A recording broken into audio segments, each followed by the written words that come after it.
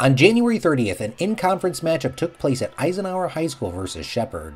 During the pregame, Tony Chiuccariello was presented a plaque for his final year as head coach of the Astros after coaching for 33 years. After the tip-off, Shepard fought for the ball, but after a failed pass attempt, Avante Thomas swooped in to get his first points of the game. Going under the basket was Daniel McGovern keeping the ball alive for Panagotis Primbus hitting a corner three.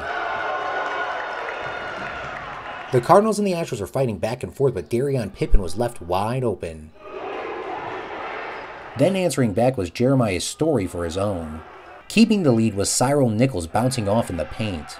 Right after, Thomas put one down at the tip of the arch, knotting up the game 8 to 8. Then Logan Tassiotti reached in for a rebound, getting over to Ellis after a failed shot attempt. Made points by both teams kept them neck and neck after senior AJ Abrams took a jumper right outside the paint. At the end of the first, 18 Cardinals, 15 Astros. Going into the second, Thomas hit another three. On the Astros side, Story hit the iron bouncing in for two. AJ Abrams rushed on the outside shooting off the glass while being fouled making his point after. While saving a pass attempt, Ariane Lee Barnes kept the ball in his hands for a score and went for another. This did not stop the Cardinals. Tassiotti made his own goal after being fouled. The Astros cleaned up a rebound, then Tassiotti made another from an underhand pass from Salinas. Darion Pippin walked in for more.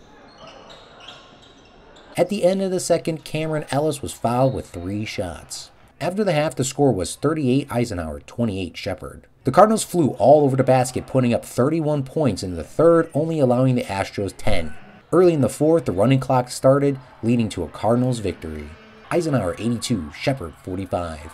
Head coach Neil Miguez told WCCN about their standout performance in this conference matchup.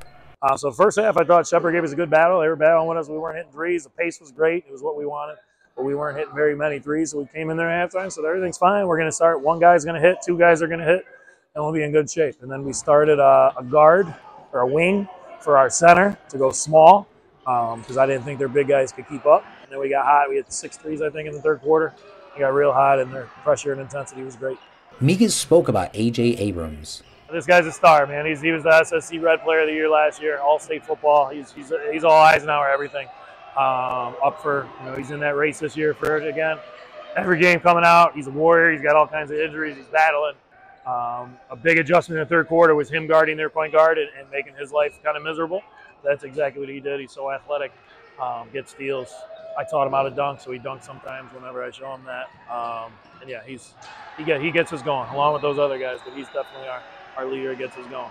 Abrams gave his insight about his performance. I thought I performed. I thought I performed good. Started off kind of slow in the first quarter. Came back in the second quarter, started hitting my shots, got my rhythm right, and then in the third quarter, I just I just felt it. He plans on reaching the conference player again. Just keep playing hard. Don't, under, don't underestimate none of these teams that we got coming. Keep working. You know, just stay in the gym, stay humble. Finally, Miguez talks about what's next. We got four games this week. That was one. So we got three this week. So we got a really busy week. We got Sandburg coming up tomorrow. Um, I'm gonna go home right now and start watching them. My assistant's been in charge of watching them a little bit. Um, they shoot the crap out. I've seen them live twice now. They shoot it. They're threes. They're fast too. They're guards too, kind of similar to us, except uh, more shooters and attackers. And then a big one Friday conference uh, against Reavis, uh, who took us, who upset us last year at their place. These guys remember that. And then Saturday we're on the road at Lombard um, who we've never played before. So I'm anxious to go in there and see what they can do. I know they're they're uh, pretty guard heavy as well. I'm Claude Martinez reporting for Will Cook County News.